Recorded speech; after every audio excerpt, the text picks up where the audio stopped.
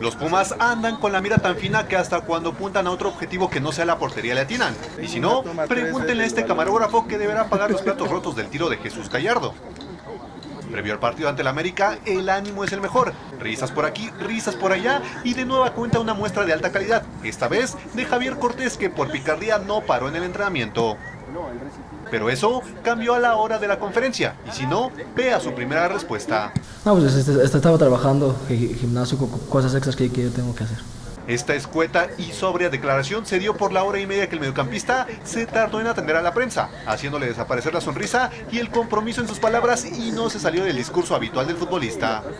Primero, se le habló de las declaraciones de Moisés Muñoz, quien los llamó poquiteros y él dijo esto. No, bueno, entonces nos vamos a concentrar este, en lo que es el fútbol, ¿no? La, la verdad que los comentarios pueden ser buenos, pueden ser malos de, de donde vengan nosotros lo que nos interesa es tener buen funcionamiento para poder llegar mucho mejor de lo que estamos haciendo las cosas en la liguilla. Después dijo el argumento habitual del por qué considera un clásico el partido ante las Águilas. Como, como comentaba, la rivalidad futbolística dentro de la cancha es este a lo mejor se, vive diferente, a lo mejor por, por ser este, unos, unos clubes se puede decir un poquito más, este, más grande, más este, rivales a vencer, en los que Puma siempre también tenemos que estar en, con, con, esa idea, ¿no? Como comentaba, todos los equipos son importantes, pero ahorita es una, una rivalidad que viene desde, desde abajo, desde fuerzas básicas, en la que se, se, se, compite diferente este partido.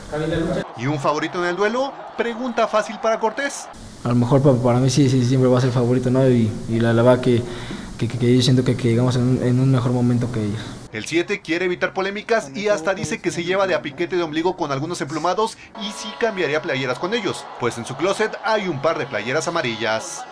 No, hasta el momento, este, por, por ahí tengo una de, de, Diego Reyes y de, de Raúl Jiménez, ¿no? Fueron un grandes compañeros en la selección, vivimos cosas muy padres, los Olímpicos y todo eso, la verdad que, que, que con ellos me, me, tocó cambiar playera, tengo esas dos, pero bueno, te digo, ahorita es muy padre, como les comentaba, yo, yo, yo no soy de eso que a lo mejor voy a decir, ay no, porque es mi rival odiado o, o el, el, rival más este, a vencer de, de Pumas, la verdad que son, son, compañeros y son grandes amigos míos. Por último, admitió que le gustaría marcarle por primera vez al América, y que mejor que en un estadio en el que a su parecer tendrán mayor parte de la tribuna.